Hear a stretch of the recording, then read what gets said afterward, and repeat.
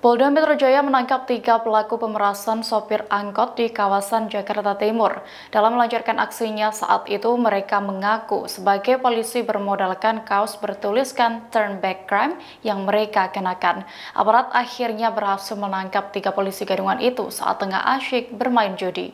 Kabit Humas Polda Metro Jaya, Kombes Pol Yusri Yunus menjelaskan para pelaku beraksi di kawasan Ciracas dan Makassar, Jakarta Timur, masing-masing pada Oktober 2020 dan 9 Juni 2021.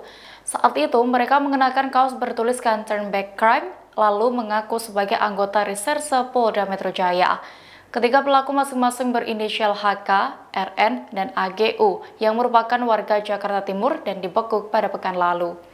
Dikutip dari wartakotalive.com, pelaku HK merupakan otak dari aksi pemerasan dengan berpura-pura sebagai anggota polisi.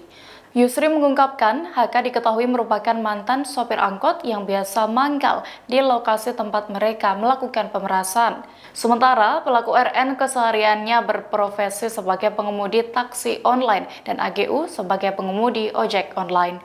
Saat itu HK mengajak kedua rekannya yakni RN dan AGU untuk berpura-pura sebagai anggota Polri dan melakukan penggerebekan terhadap para sopir angkot. Untuk memuluskan aksinya, para pelaku mengenakan kaos bertuliskan Turn Back Crime dan masker bertuliskan TNI Polri. Yusri mengatakan mereka kemudian menggunakan mobil milik RN untuk berpura-pura melakukan penggerebekan sopir angkot yang diduga tengah berjudi. Para pelaku lalu membawa para sopir angkot ke mobil mereka dan diajak berputar-putar. Saat itulah mereka merampas HP milik para sopir angkot dan uang yang diduga digunakan para sopir angkot untuk berjudi. Ketiga pelaku mengaku mereka berhasil mengambil keuntungan hingga 4 juta rupiah setiap aksi yang sudah dilakukan sebanyak dua kali.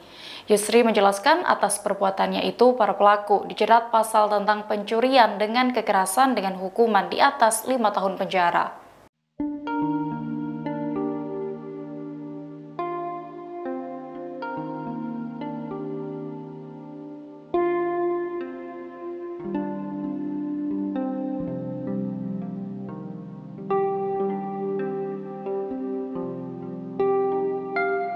Thank you.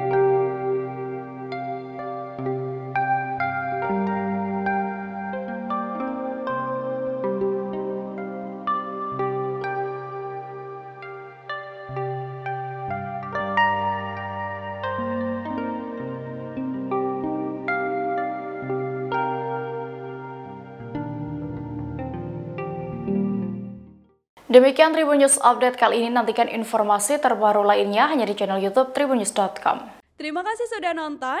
Jangan lupa like, subscribe, dan share ya.